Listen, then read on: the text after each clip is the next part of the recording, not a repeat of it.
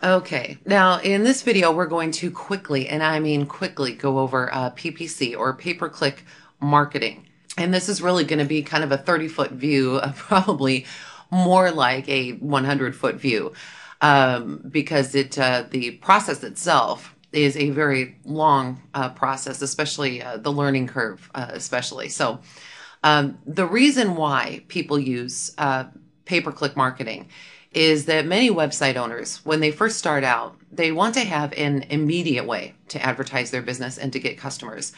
Now, SEO, while it is effective, it does take some time to move up to the top positions in a search engine, especially if you're using some of the more competitive keywords on your web pages. Now, pay per click is one of those ways that can work very well if you're in a hurry to start getting traffic to your site. But unlike SEO, pay per click does cost your business money.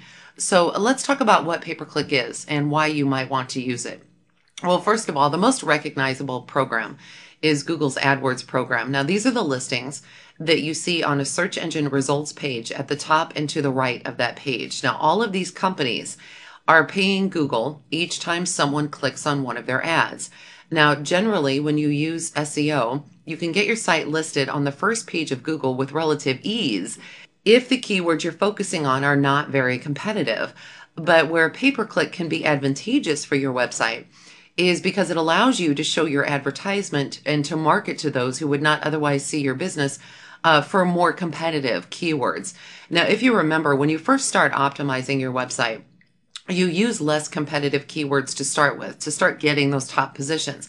As you continue to add words to your arsenal and to create web pages, you'll eventually work your way up to those more competitive terms, but it takes a long time to uh, take over one of the top spots in a search engine, especially if you're up against millions of competitors.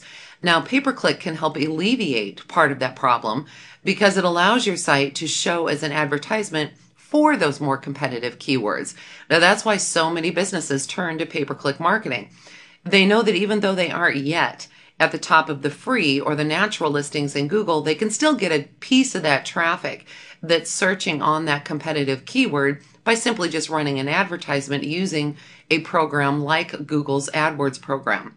Now, Google is not the only pay per click advertiser available. There's also Yahoo's uh, sponsored search as well as uh, Microsoft's or Bing's Ad Center. Uh, but for the sake of this presentation, I'm just going to focus on Google since it receives the most traffic and it's widely used by a vast majority of companies. Now, how pay per click works, and again, very quick overview. When you sign up with a pay per click program, you simply write an ad, you tell Google what keywords you want that ad to show up for, and then you tell Google how much you're willing to pay every time someone clicks on that ad. Now, granted, this is a very simplified version of how pay per click works, but in a nutshell, these are the basic steps that you follow.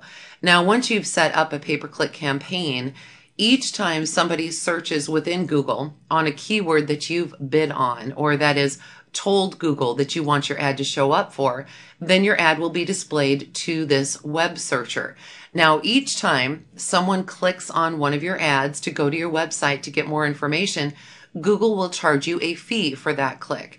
Now, just like within the organic or the natural listings where there's lots of competitors, this is also often the case when it comes to pay per click marketing um, the more competitive the keyword you want to show up for, the more likely you'll have to bid more per click in order to get your ad seen on the first page of Google within the sponsored links section. Now, it's important to note that just because you're the highest bidder does not guarantee that you're going to show up on the first page of Google's pay per click listings. Uh, Google takes into account a variety of factors, even where the paid listings are concerned. Factors like how well your ad is doing, and that's determined by something called CTR or click through rate, which means how many people click on your ad compared to how many people actually see your ad, uh, what the quality of your keywords are, and more. Now, the reason behind this is that Google wants to be sure that they're providing the highest quality of information to their site visitors, and this also includes the ads that they show. So, as you can tell, using search engine optimization to get free listings can save you a bundle of money in advertising costs. but it takes time to get there. And to get seen in the search engines quickly, pay per click is the best way to start getting traffic to your site. However, I don't suggest that you jump right in and start using pay per click advertising without knowing what you're doing first. It can get very expensive very, very quickly. Um, I suggest that if you do decide to get into pay per click marketing, first read through the AdWords Learning Center at Google, and that's at google.com forward slash AdWords forward slash Learning Center.